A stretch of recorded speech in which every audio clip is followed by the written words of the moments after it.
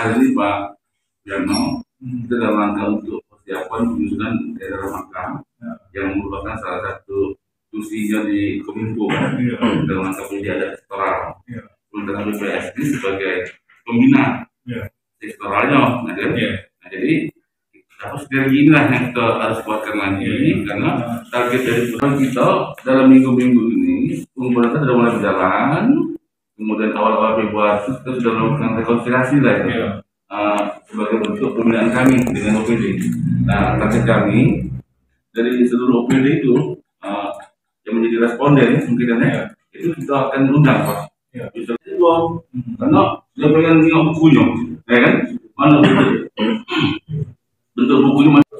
Eh, mengirimkan data-data sektoral yang harus dilakukan dari pembinaan tadi ya. Iya. Ya, terima kasih. Nah yang kedua juga memang selama ini kan di akhir tahun baru dari Kominfo ini menyetak buku. Ternyata sekarang ini sudah ada ada batasan justru di akhir Februari harus sudah clear. Ya. Kemarin kan saya sudah tantangin surat kemarin tanggal 20 ya sudah naik ya. 20 Februari. 20 Februari. Ternyata 20 Februari sudah selesai. Nah, artinya surat ini kan naik tadi kemarin sudah naik ke Bapak Bupati kita tarik lagi.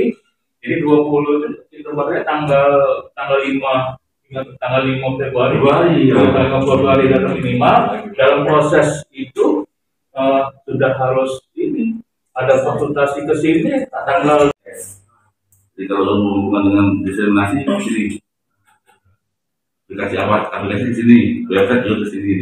Tidak dari aku selatan. Ya, keterangannya untuk istri. Tulis, istrinya di sini. Ya. Dia mata kita kan.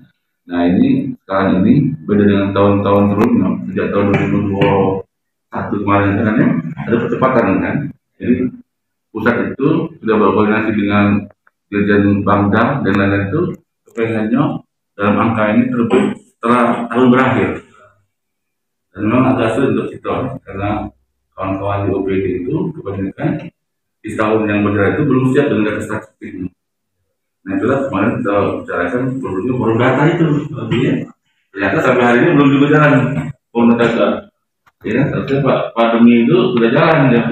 Kalau itu sudah jalan, ini pasti jadi gampang kan? Ini terjadi kewajiban kita pertama. Yang kedua, data ini ada data sektoral yang kemudian bertanggung jawabnya itu eh eh, penyiapan siapa untuk bukan data itu? Sudah sejauh mana eh, OPD mana lah yang belum. OPD mana yang sudah. Nah atau jangan belum sama sekali misalnya. Nah kalau belum sama sekali mungkin harus segera kita segerakan Ya. ya. Mungkin perlu surat-surat rapor dari Bupati misalnya kan? Ya. itu harus segera gitu.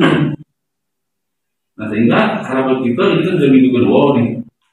Ya itu juga juga sedikit lagi. Waktu yang ini harapan kita Februari awal itu semua sudah masuk nah tinggal kita evaluasi mungkin ada kekurangan tabelnya atau sudah ada tabel tapi ada tidak terisi nah kendalanya di mana ya. Tapi harusnya tidak ada kendala lagi Pak Uji karena itu sudah rutin